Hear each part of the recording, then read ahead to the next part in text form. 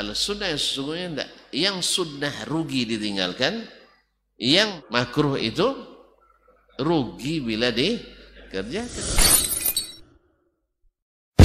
وشر الأمور محدثاتها وكل محدثة بدعة وكل بدعة ضلالة وكل ضلالة في النار Masyarakat kiram tentang istiwa Allah ala arsyih.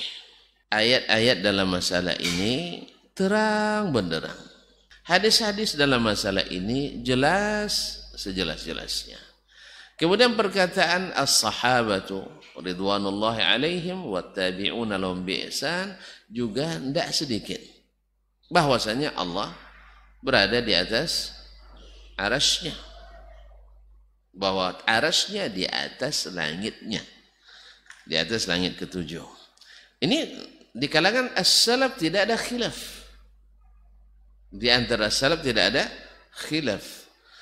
Nah lahirlah pemikiran-pemikiran khalaf tadi.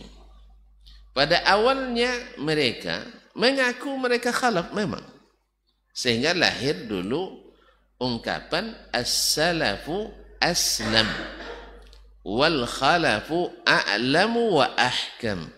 Wah, lebih hebat. Jadi yang salaf itu memang lebih selamat karena mereka tidak membahas-bahas kalau kita lebih berilmu dan lebih hikmah sebab pembahasan kita lebih mendalam. Nah, di sinilah letak awal mulai titik awal berpisahnya mereka dengan jalan yang benar.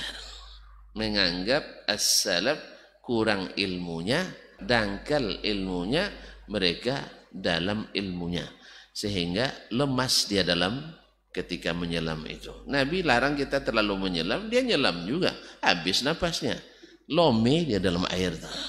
Sehingga setiap pembahasannya selalu berujung pada kebingungan. Makanya orang yang seperti itu terbawa pula dalam amaliyahnya mempermudah-mudah masalah. Ah kan cuma sunat.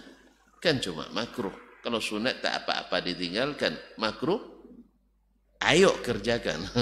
Allah musta'an. Terbalik. Kalau yang enggak. Al sunnah yang sesungguhnya enggak. Yang sunnah rugi ditinggalkan. Yang bid, uh, apa namanya? Yang uh, apa lawannya tadi? Makruh itu rugi bila dikerjakan. Makanya kita biasa yang yang biasa ketat dalam masalah akidah juga ketat dalam masalah ibadah ketat juga dalam masalah muamalah akhlak dan adab